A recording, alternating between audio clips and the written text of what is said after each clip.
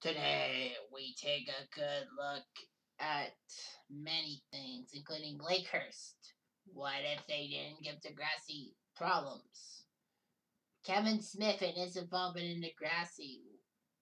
And we also look at Craig and his bipolar problems. All this and more today on this episode of Cutters Degrassi What Ifs.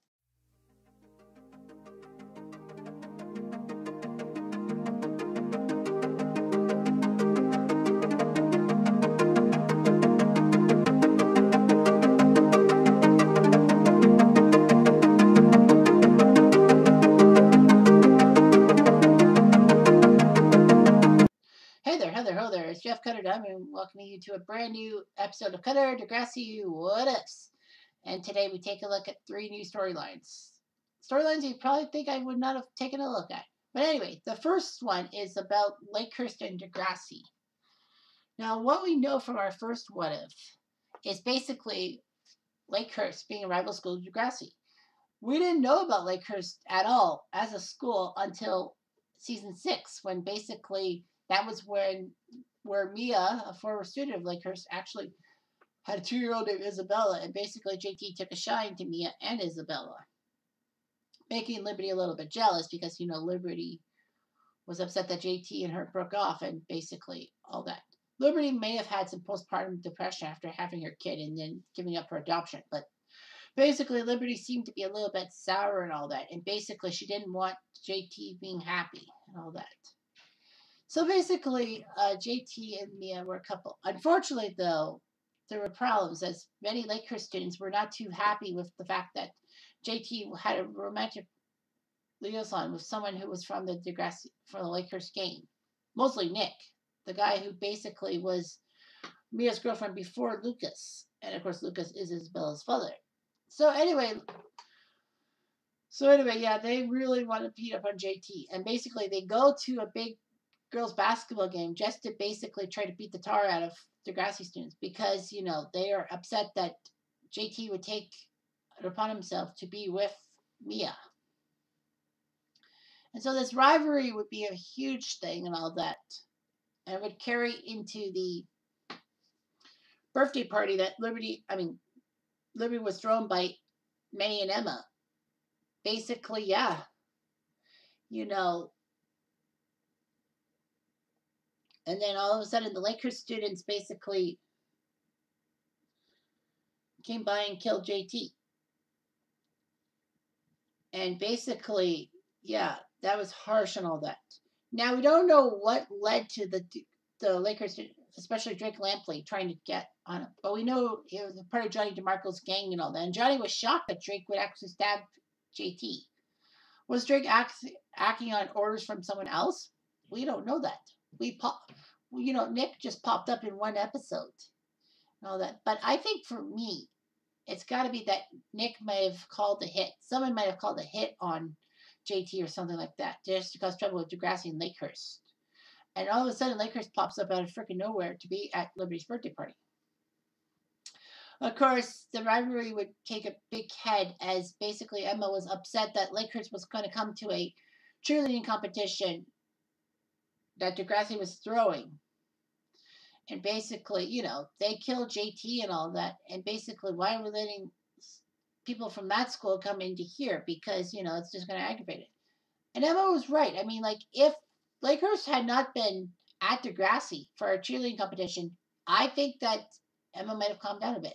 But it was also because, you know, Emma was upset that Manny wouldn't give her the time or date to talk about the deal with JT and all that. And Manny moving back home. That pissed Emma off, I bet. So anyway, yeah, Lakehurst was not too happy with Degrassi treating them poorly. And we don't know much about Lakehurst. And then season seven pops up, and guess what? There's some Lakehurst students at Degrassi. It's like, what? And the worst part is Lakehurst burned down, so that means Lakehurst has to share with Degrassi. And there's a lot of animosity, especially from JT, because I mean from Toby, because you know, Lakehurst killed his best friend. But then he learns to realize that, you know, not everyone at Lakehurst wanted to destroy Degrassi for what JT did to Mia, with Mia. So basically, he accepts the fact and all that. I think Emma finally accepts Lakehurst. But anyway, Lakehurst brought, actually, Lakehurst students actually came in, and they were huge. They, number. They had Sav, they had Anya. They had Holly J. They had uh, Damien. They had, I wouldn't say Darcy, but I'm wrong. I don't know. Many other Lakers students. Chantay. No, wait, Chantay was in season four for some reason. That's right. So anyway, yeah, those Lakers students came in and they basically became part of the Degrassi lexicon. And basically, we were promised the fact that after Emma's class would graduate, that basically Emma and them would, you know, that would be the end of Degrassi once and for all. And, you know, things would happen. But, of course, we were told that. And they lied. CTV, I know, lost rights to Degrassi because, you know, after season seven, the viewership dipped down, and then they gave it to MTV Canada, or Much Canada, I think. MTV Canada, and they basically ran with the telenovela stuff and all that shit in season 10. But of course, the big what if is what if Lakers was not merged with Degrassi? Well, you can look at it a couple ways. The main way to look at it is basically, you know, the Degrassi people actually did have an inkling that they were going to stay on after season seven and all that. Season seven should have been the perfect finale and all that. Like that episode with Honor JT, that was supposed to be the perfect finale. But in a way, I think they kind of knew that it was being renewed, so they basically had to come up with some new students for Degrassi and all that. Because basically, you know, Paige's group and Emma's group have graduated, and they didn't really develop characters for from other classes, like younger people. Maybe Danny and Derek, but like fuck. All that. I know they became central figures in season eight and all that. And also in season eight, we learned about the chef who was the Lakehurst principal before the school burned down, and he never. And I always thought he came to Degrassi in some kind of um, form after Lakehurst burned down, but no, he wasn't. He wasn't around Lakehurst, and uh, then all of a sudden he becomes principal when Hatzilakos goes to Saskatchewan to deal with her ailing mother. And then basically shepherds the school by basically, you know, favoring Lakehurst students over Degrassi students and basically brawn over brains. But unfortunately, he lasted one season before Hatzilakos came back and all that. But yeah, I mean, I can kind of guess that, and then we probably would have had our perfect ending season seven. Yeah, these kid, these students come by for one season and cause trouble, but then basically, you know, they probably do it in a way that says, "Who cares what Damien is up to after season seven? Who cares about Holly J or Anya or Sav or Mia?" Basically, yeah, we wouldn't have cared much. But I guess they gave them good storylines that they wanted to continue on the storylines with them. Although it was probably set to be done after season seven. But it's also the fact that basically Lakehurst, without being there, what would season seven have been like for Degrassi with Lakehurst not getting involved? Well, I don't know. I mean, like Toby would not have had romantic interest in Holly J. Uh, the Lakers students wouldn't be tr- like Johnny and them would not have tried to make trouble for Simpson after Darcy inappropriately accused him of stuff. Basically, Lakers was why Snake couldn't come back to the school. Basically, they thought that he was a pedophile. And basically, Damien would not have been in, in Emma's life or Manny's or Liberty's life. Basically, Emma, remember in season seven, lost Sean because he went to the army. But it's like, well, Emma didn't really have a boyfriend for the longest time in season seven. I think she was still stuck on Sean. But basically, yeah. I mean, they actually helped out with some storylines and all that. And you can agree or disagree that it worked out. So, yeah, so I think that was pretty much it. That basically we would have seen Degrassi end after seven seasons. Heck, Degrassi High and Junior High went for a combined five year, five seasons. So, like, you know, it would have been longer. Anyhow, number two on the what ifs list has to do with Kevin Smith. Now, as everyone should know, Kevin Smith is a great comic book fan and basically he makes movies. The Jay and Silent Bob franchise and also Clerks. I think they did Clerks 2 and all that. I forget what else Kevin Smith was in. But anyway, Kevin Smith actually had a boner for Degrassi. And basically, he loved Degrassi growing up and all that, and wanted to be in a Degrassi episode. So the writers decided to put him in one. So basically, in season four, yes, that season, the season that had Rick Murray basically shake things up by his death and all that crap, they decide to have a Jay and Silent Bob movie be filmed right at Degrassi. And like, it's like, how the hell did Degrassi end up allowing them to shoot a, a movie in their at the same in the same year as they basically had a school shooting embarrass their pride and all that shit. But yet maybe Degrassi was looking to raise its image a bit. Nah, I don't know. I don't know. I don't know. But anyway, Degrassi, yeah, he was there for the finale of season four and all that. And then all of a sudden, Kevin Smith actually had a boner for Caitlin or Stacy Mistysyn, the actress who played her. But anyway, he caused trouble for uh, Caitlin, especially when Joey was trying to get a relationship in with Caitlin and all that. Unfortunately, though, Joey loses Caitlin to Kevin Smith in a sense, and Joey basically moves with Angela to Calgary. That was the plan the whole time. Season four, you know, he had troubles and all that. And Caitlin helped bail him out from house troubles I mean, Caitlin should show more gratitude towards Joey. But I guess they probably wanted to end this Joey and Caitlin will they, won't they crap.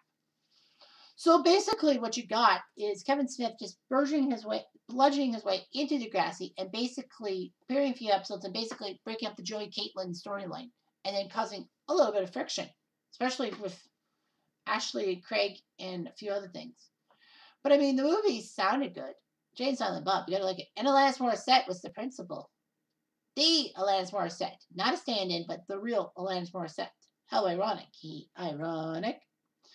But anyway, in that in the two-parter, basically Craig is upset over the fact that Ashley's leaving for England. So he basically gets off his meds and all that and is in the boiler room. Which will lead us to what if number three, but I've got to talk about what if. So basically, what if Kevin Smith hadn't bludgeoned his way into Degrassi?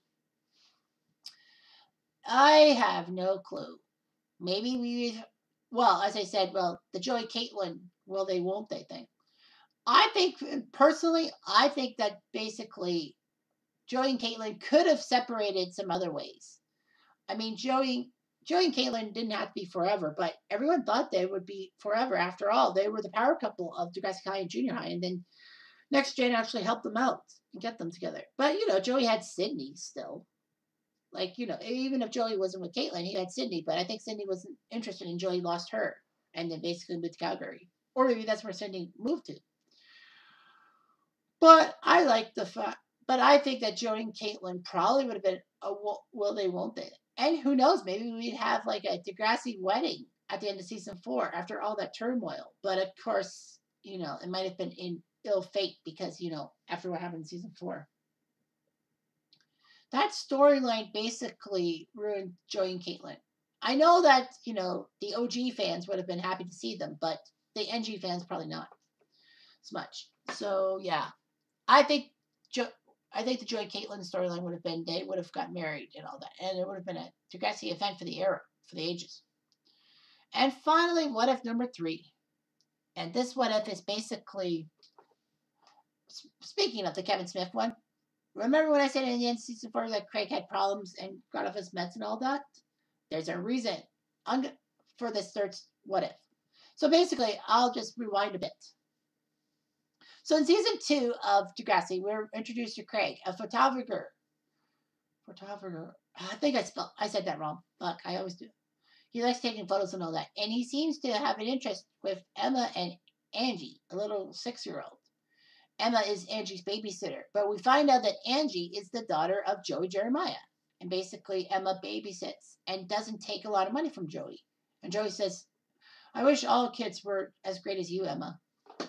But regardless, so Craig is basically stalking them. Unfortunately, Craig has a terrible home life as his mom is dead and his dad beats him. Mostly because, you know, he was frustrated with things. We won't know, we didn't know the scope of it till later. So anyway, Joey basically doesn't understand uh, Craig's problems, but then Emma and Sean basically tell Craig about his problems. Even Angie pipes in. So basically, Craig lives with Joey. Albert, being Craig's dad, basically says he got into therapy. That was the wake up call he needed. And it's assumed that basically he beats Craig over the fact that his wife left him. So we found out that Craig's mom left Albert to be with Joey. It's like, whoa, that's crazy, fuck. But anyway, Albert doesn't change his tone. He then dies in a car crash. Craig doesn't know how to feel about his dad's death. He's elated that his tormentor's dead, but he just can't help feel about, his dad. All that.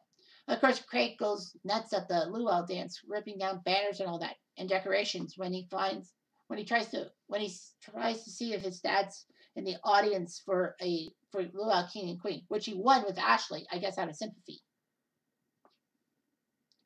But basically, yeah, he did all that. But basically, he got calmer and all that. By the time season three comes by, he basically has a liaison with both Manny and Ashley. He loses both of them, and then for some reason, he raises an apology song and wins Ashley back. And Ashley had every right to get mad at Craig for what he did. Every right. Every fucking right. So basically, it was weird seeing Craig romantically linked with two girls. The apple doesn't fall from the tree because Joey did that too in School's Out. But by season four, Craig seems to be calm with Ashley.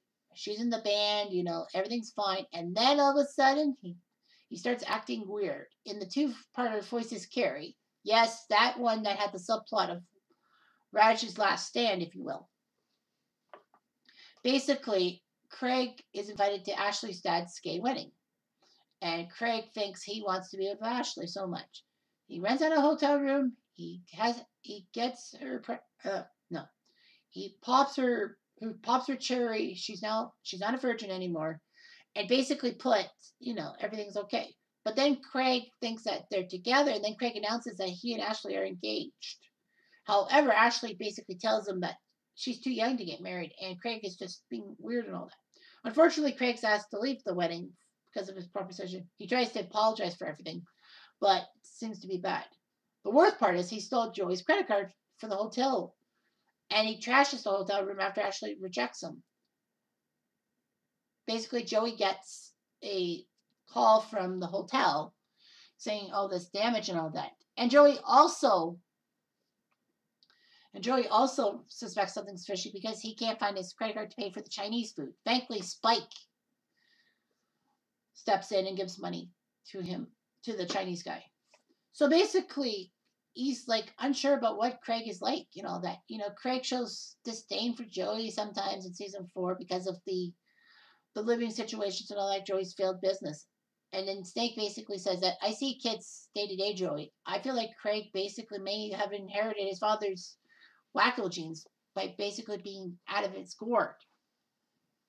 Joey thinks that he's just being a normal teenager, but then he sees signs and all that and then Joe and then Craig basically pick.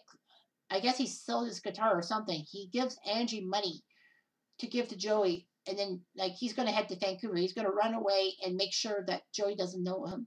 But Joey basically says, "Too late. I see you." And Craig beats up Joey, even though Joey says that I want to help you because you're not well. And basically, Craig beats him up and all that. Craig realizes he's got off the rails and all that. He goes to the hospital and is diagnosed with being bipolar, kind of like what his dad was. Ashley stays by his side, even though that Craig says that you don't have to. Craig goes to a support group, and then basically he finds Ellie, who's in a support group for her cutting herself and all that. Excuse me. And then basically those two hook up in a sense. But anyway, Ashley decides to go on a summer internship to England to be with her dad for business and all that. And Craig's upset that she's going to England. Of course, what ends up happening is she stays in England. She finds a guy. Craig is really pissed off, and then, you know, I don't know about that. So anyway, is the big what if is what if Craig was not bipolar, or to put it bluntly, what if we didn't know Craig was bipolar? You can look at it two ways. One way is what if Craig didn't have his bipolar problems?